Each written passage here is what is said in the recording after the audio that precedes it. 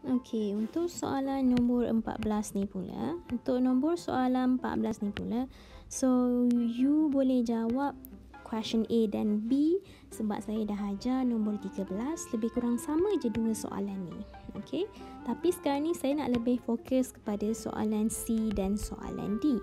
Sebab soalan C ni kita mempunyai dua point. So kita kena lukis. Okay, untuk soalan C kita ada dua point iaitu daripada point A to point B.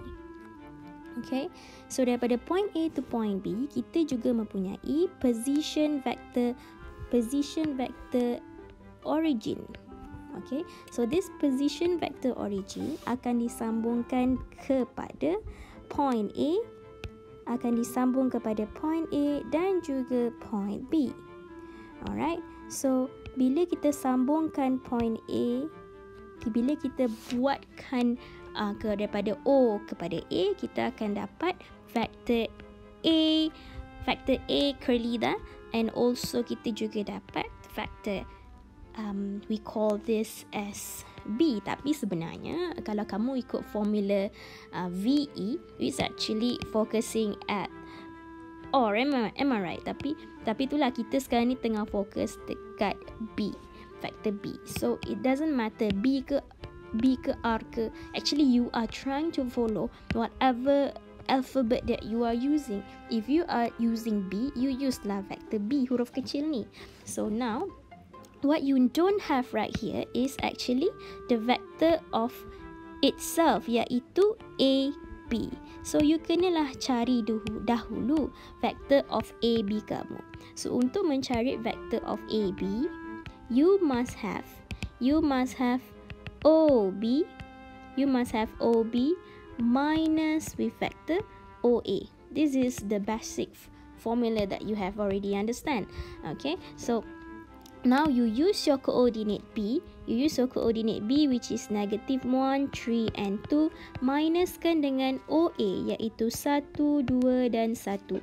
And then you akan dapat jawapan kamu which is negative 2, 1 and 1. When you have got your your coordinate, sorry, your vector of A and B, your vector AB, it means that you know that this vector AB juga adalah parallel juga adalah parallel kepada your vector V.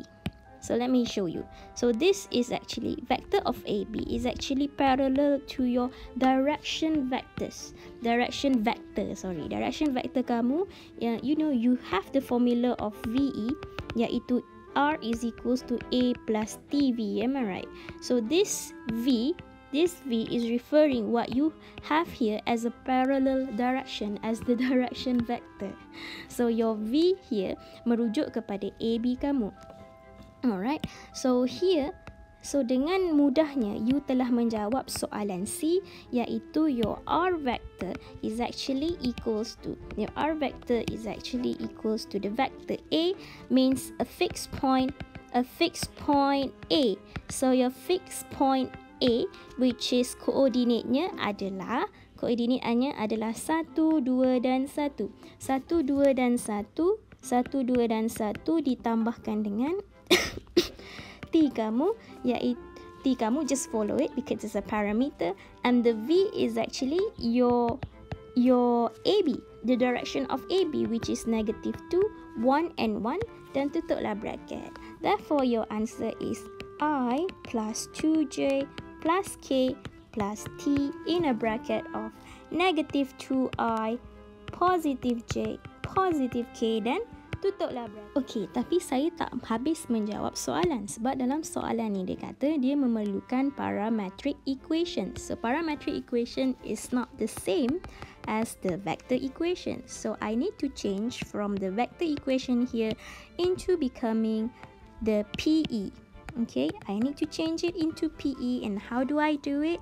How do i do it it's just actually by understanding that this r adalah okay our r dekat sini our r dekat sini sebenarnya adalah x y dan z. Okay x y dan z. Okay let me write down here.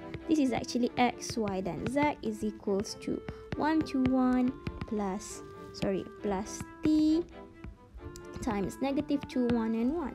So parametric equation adalah sebenarnya, saya highlight kat sini. X is equals to 1 plus T times negative 2. So what you have to do is just write down the answer.